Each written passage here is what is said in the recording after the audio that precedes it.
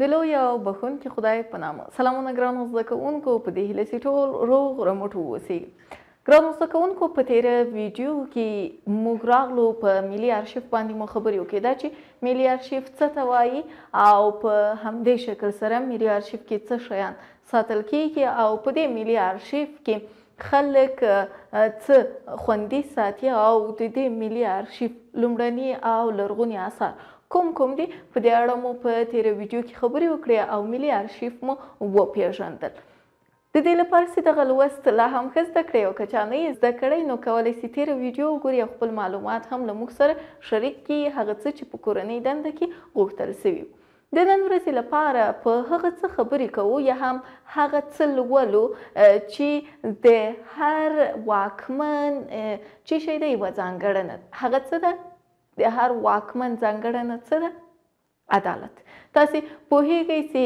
دلته په دې برخه کې واکمنان کله د عدالت څخه له عدل انصاف څخه کار وانخلي هغه واکمنان هیڅوک نه خوښوي نو په همدې خاطر موږ غواړو نن د عدالت په هکله یا هم د واکمن د ځانګړنې په هکله باندې څه شی وکړو، دغه کیسه ولولو. دا کیسه څه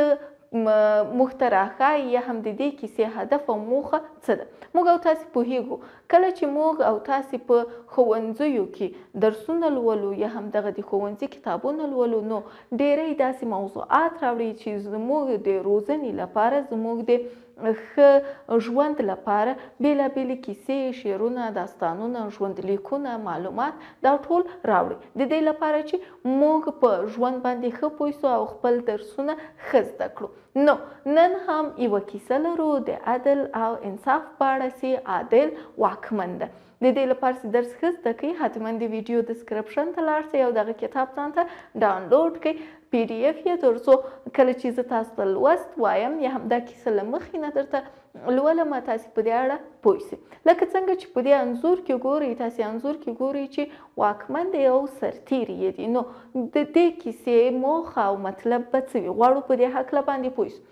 مخکې له دې چې راسو په دې باندې پوه شو موږ او تاسې وایو چې د عدالت په اړه باندې دغه ځینې کیسې او داستانونه چې راځي دا زموږ په ژوند کې ډېر ارزښت ارزښت او اهمیت لري خپله عدل او انصاف د اسلام یوه غوره یا هم د اسلام د غوره اسلامي برخې یا ټولنیزې برخې یا همداسې د بشري برخې یوه غوره ځانګړنه ده څه شی ده؟ غوره ځانګړنه ده، ځانګړتیا یې ده او له ځانګړنو څخه یوه ځانګړنه همدا عدالت ده، عدل او انصاف ده. نو موږ نه باید هیڅکله دغه دی عدالت تله له لاس څخه څه شی کو؟ وغورځوو. یعنې موږ هیڅکله نه باید داسې یو کس واوسو چې عدالت ونه چلوو. تاسو پوهیږئ چې حضرت عمر فاروق رضی الله عنه په همدې عدالت باندې د فاروق لقب ګټلی دی د حضرت محمد صلی الله علیه وسلم لخوا نو عدل او انصاف یوازې واکمن ته اړین نه ده خو د په ژوند کې په هره برخه کې موږ باید عدل او انصاف ولرو په دې برخه کې زموږ په دې کتاب کې د مولوي احمد د کتاب گنج پښتو یو کتاب یې دی چې ډیر زیات مشهور کتاب یې دی د مولوي احمد او په دې کتاب کې دغه کیسه راغلي ده چې دا کیسه به یو ځای لولو او په هدف یا موخه به یې ځانونه پوهوو دا چې مولوي احمد څوک دی وروسته له کیسې به پرې خبرې وکړو نو اوس خپل کتابونه راواخلئ یا هم خپل کتابونو د همغه پاڼه څویمه پاڼه ده اته دېرشمه پاڼه خلاصه کړئ تر څو دغه لوست درته ولولم او له کیسې نه چې وکړو همغه اصلي مطلب او موخه واخلو عادل واکمن زورورو ته نه ښايي چې په کمزوري باندې خپل زور وازمايي. که څه هم کار يې خرابېږي، وايي چې د روم پادشاه نوشېروان پاچا ته استازی لېږلی و. کله چې هغه دربار ته ورسېد، ګوري چې يوه لويه ماڼۍ ده، پاچا پکې په تخت ناست دی او نور امیران او وزیران په څوکیو ناست دي. استازي چې شاوخوا وکتل، په دغې ماڼۍ کې یو ځای ورته کوږ ښکاره شو. له یو سړي څخه یې پوښتنه وکړه چې دا ځای ولې کوږ دی؟ هغه ورته وویل چې دا د یوې بوډۍ کور و. په هغه وخت کې چې پادشا دا ماڼۍ جوړوله نو هغې بوډۍ ته یې وویل چې دا کور په ما خرڅ کړه مګر د هغې رضا او خوښه نه وه. پادشا په زور سره دا کار ونه کړ نو ځکه دا ځای په دې ماڼۍ کې کوږ پاتې شوی دی. استازي وویل چې رښتیا خبره دا ده چې دا کوږوالی ډېر ښه دی. له هغه سموالي نه چي په ظلم تر سره شوی وي. حق او انصاف دا دی چي دا کار نه په پخوا زمانه کي چا ويلی دي او نه مي وروسته ګمان کيږي چي کوم پاچا به دا کار وکړي. پاچا چي د قاصد دا خبري واورېدې ډېر خوشحاله شو، انعام او ډالۍ يې ورته ورکړه او په عزت سره يې رخصت کړ. ګرانو زده کوونکو تاسې وګورئ چې په دې برخه کې کله چې یو پاچا له یوې بوډۍ څخه یا یوې له زړې ښځې څخه کله چې د هغې کور غواړي او په دې برخه کې کله چې هغه هغه کور نه ورکوي او وایي چې دا کور نه درکوم نو پاچا په زور سره دا کار نه کوي چې شی کوي پاچا همغه ماڼۍ همغه ځای کوږ پرېږدي د دې لپاره سي وايي دا کار زه باید و نه کړم نو هر هغه څوک چې دا ماڼۍ ګوري او بیا له دې کیسې نه خبرېږي دا ورته ډېر ښه ښکارېږي او په پاچا باندې ویاړي نو یا نه یوازې دا چې پاچاهان یا هم واکمنان باید دا کارونه وکړي بلکې ټول انسانان باید له دې څخه کار واخلي اوس راځئ وګورو سي مولوي احمد څوک دی مولوي احمد د پښتونخوا د اشنغر د تنګي اوسېدونکی و. څوک و؟ د پښتونخوا د اشنغر د تنګي اوسېدونکی و، پښتو ژبې معاصر شاعر دی او د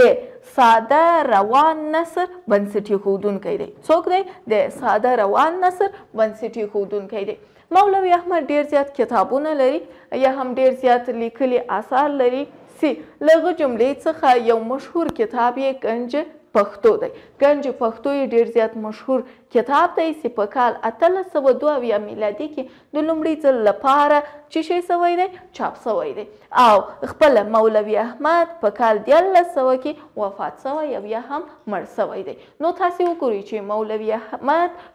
څومره یو خوږژبی شاعر دی او څوک دی دا چې دغه نثري بېلګه تاسې ولوستله حتما د دې کیسې نه تاسې د مولوي احمد هغه ځانګړی قوت یا هغه ځانګړتیاوې چې دی لري په نثر لیکلو کې تاسې ولیدل تاسې ولیدل چې په نثر کې ډېره رواني وه او هیڅ داسې پیچلي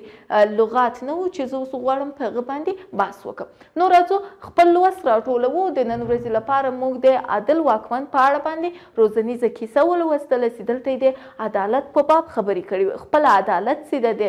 اسلام یا هم غوره اسلامي ټولنیزو بشري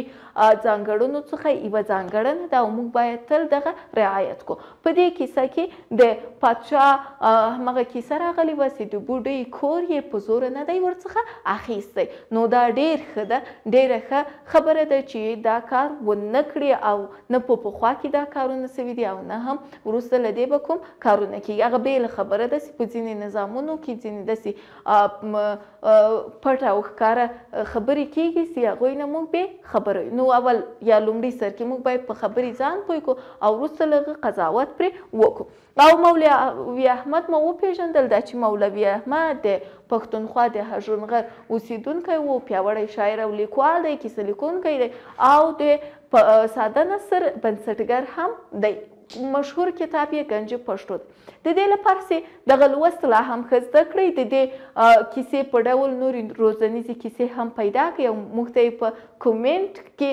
راسره شریکې کړئ او د مولوي احمد په باب یا هم د مولوي احمد نورو کیسو په باب هم تاسې پلټنه وکړئ، هر چا چې وموندل کولای سي چي هغه خپل معلومات او هغه خپل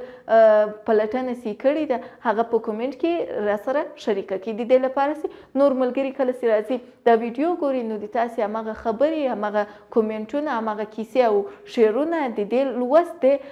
پیاوړتیا سبب وګرځي نو دا مو کورنۍ دنده او ددې لپاره سي دغه لوستونه لا هم ډیر تر لاسه کړئ د نهم ټولګي نور پښتو درسونه تر لاسه کړئ دا ویډیو لایک او چینل در سره سبسکرایب کړئ تر بیا ښه وخت او ښې چارې